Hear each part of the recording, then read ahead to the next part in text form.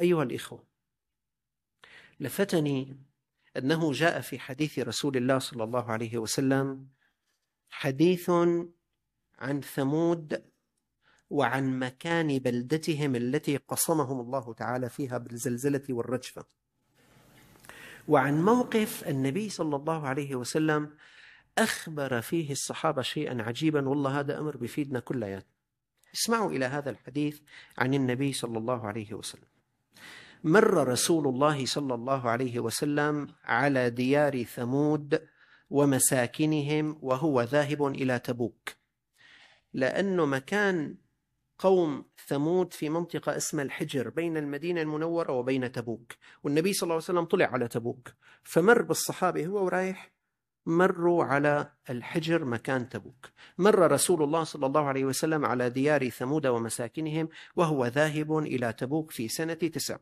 قال الإمام أحمد عن ابن عمر قال لما نزل رسول الله صلى الله عليه وسلم بالناس على تبوك نزل بهم الحجرة عند بيوت ثمود فاستقى الناس من الآبار لأنهم كانوا مسافرين بدهم يستريحوا في بير بدهم يشربوا منه مي.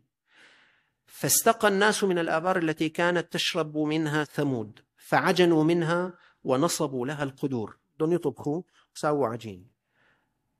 فعلم رسول الله صلى الله عليه وسلم بأمرهم. فأمرهم فأهراقوا القدور وعلفوا العجين الإبلة. قال لهم لا تأكلوا من هذا العجين اللي فيه المي تبع آبار ثمود. طعموه للإبل تبعكم. قال ثم ارتحل بهم حتى نزل بهم على البئر التي كانت تشرب منه الناقة. ونهاهم أن يدخلوا على القوم الذين عذبوا. قالوا له يا رسول الله خلينا نشوف وين هن, هن هدول الذين عذبوا. قال له لا لا تدخلوا.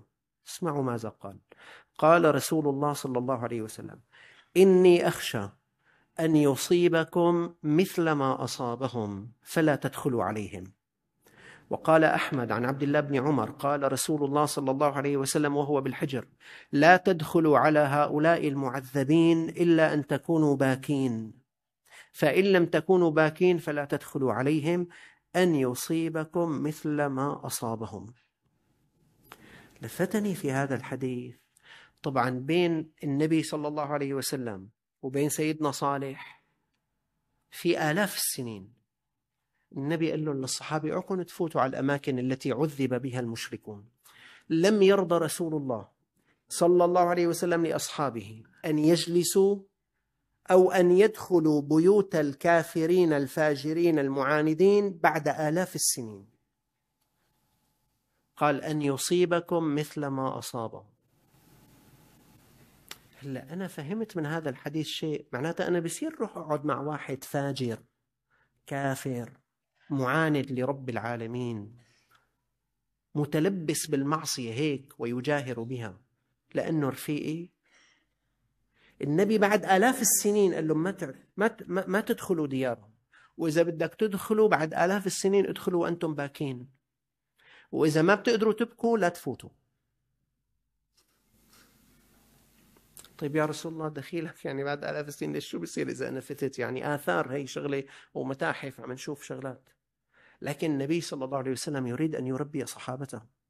هذا درس يا إخوان لكل واحد بيناتنا. مرات واحد إذا لك رفيق يا رجل يحارب الله ورسوله. قال إيه تعرف بس والله أنا بحبه. طيب أنت بتحبه كيف؟ كيف تحبه؟ أنت تحب الله ورسوله. أخي بدك تحبه أخرجه مما هو فيه. ما بتقدر اتركه. هذا بسب الدين. قال إيه يعني هو صح بسب الدين بس أخلاقه عالية. أني عالي أني عالية إذا كان يسب يسب أرزل وأسفل وأحقر موقف هذا. الدين الدين. قال أخلاقه عالية. أنو علو؟ على كل بدك تقعد معه تطلعه من ما هو فيه من الشرور اجلس. بس ما بدك تطلعه أو لا تستطيع إنك تطلعه أو جربت مرة ومرتين وثلاثة وما رد عليك نصيحة لا تدخل ديار الذين يعني كفروا حتى لا يصيبك الله تعالى بمثل ما أصابه هذا إذا أردت أن تكون تربيتك تربية إيمانية صحيحة. أما لا تأخذني يعني له رفقات صالحين وله رفقات فاجرين. له رفقات يحبون الله وله رفقات يعادون الله. له رفقات بيحبوا النبي صلى الله عليه وسلم وله رفقات يعادون رسول الله صلى الله عليه وسلم. كيف كيف سيرقى حاله الإيماني